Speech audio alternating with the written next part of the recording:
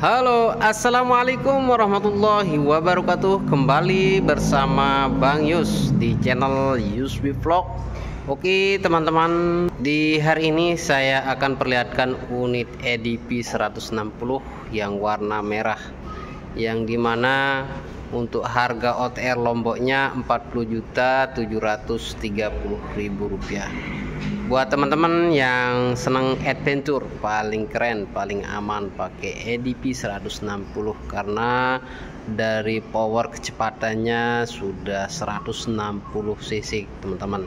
Nah ini yang warna merah merahnya matching ya me warnanya merah pemberani. Nah ini saya perlihatkan buat teman-teman sahabat-sahabat yang baru menemukan video saya saya mohon dukungan teman-teman untuk menekan tombol subscribe dan tombol lonceng supaya saya tetap bersemangat untuk memberikan informasi-informasi terupdate buat sahabat Honda. Kita langsung saja kita perlihatkan unit EDP 160-nya teman-teman. Nah, dari depan terlihat ada visornya transparan, guys. Nah, di sini terdapat ada tulisan Honda berwarna silver ya dan di bawahnya lagi ada, tulisan HSTC Honda Honda Selectable Terkontrol. Nah ini fungsinya untuk mengontrol ketika ada musim hujan atau licin maka motor tidak akan terprosot ya tergeser. Karena ini untuk EDP 160 yang tipe ABS sudah memakai anti lock brake system ya teman-teman. Nah ini kita lihat dari segi uh, lampu utamanya sudah memakai lampu LED untuk EDP dan paling keren di sini ada covernya berwarna hitam di bagian pinggir lampu utamanya. Terlihat keren teman-teman. Di, di bawah lagi di sini ada besi tempat dudukan plat. Nah kita lihat di sini untuk suspensinya sangat besar ya karena terlihat untuk EDP ini disesuaikan dengan bobot berat. Nah untuk suspensinya memakai suspensi teleskopik dan ukuran bagian bannya untuk EDP ini 110 per 80 ring 14 untuk uh, ban depannya teman-teman. Nah untuk velgnya berwarna coklat. Nah ini dibaluti warna coklat ya titanium kita kembali lagi di bagian cover berwarna merah ya. Dan di sini terdapat lampu DRL keren ya yang EDP terbaru nah ini dan saya informasikan buat teman-teman warna EDP yang tipe ABS ini ada empat warna ya teman-teman. Warna merah warna hitam warna putih dan warna biru ya teman-teman. Nah ini untuk bagian cover belakangnya di sini terdapat ada tulisan EDP 160. Ya muncul ya teman-teman nah, seperti ini.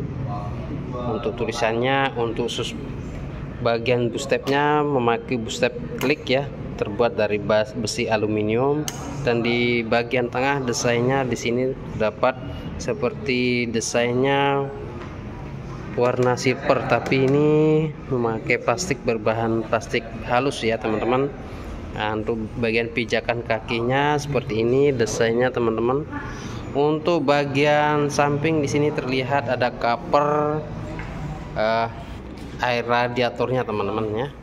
Karena masih karena memakai cairan air radiator di sini tempat pengisiannya teman-teman.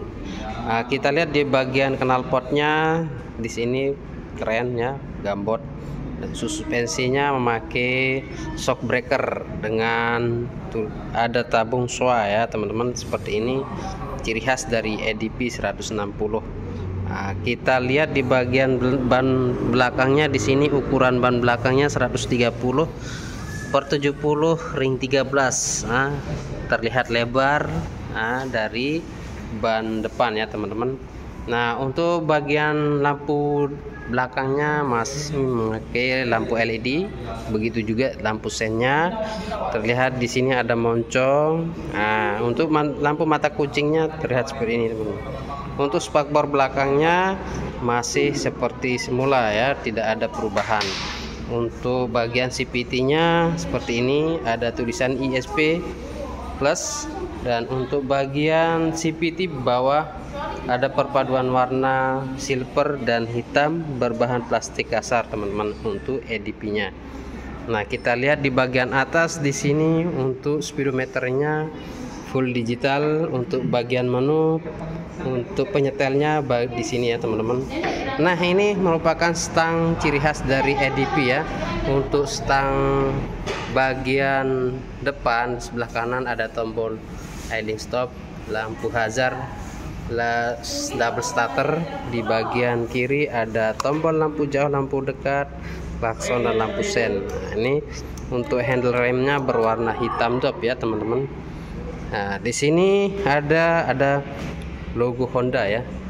Logo Honda. Di sini di bawah lagi ada tempat full tank, sebelah kanan kunci keylessnya di sebelah kanan ada full ada set pembu tempat pembuka full tanknya teman-teman. Nah di bagian kiri ada bagasi kecil.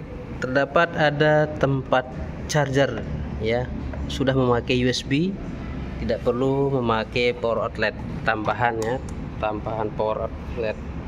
Nah seperti ini teman-teman. Untuk bagasinya di sini sudah berkapasitas 30 liter mirip dengan PCX nah untuk yang EDP tipe ABS ini terdapat ada warna dan garis-garis jahitan seperti ini.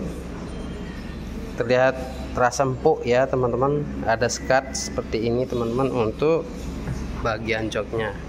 Nah ini sekilas uh, info di video hari ini untuk EDP 160 yang tipe ABS oke teman-teman jika ada dari kalian yang sudah ada rencana pembelian sepeda motor bisa langsung japri Bang Yus yang ada di dealer Astra Motor Mas Bage di Jalan Pendidikan depan Pasar Hewan Mas Bage tepatnya di Lombok Timur bisa juga khusus untuk buat eh, rekan-rekan yang ada di Lombok Barat, Lombok Tengah, Lombok Utara, Lombok Tengah yang ada rencana bisa kita kirim melalui dealer Astra Motor Mas Bage.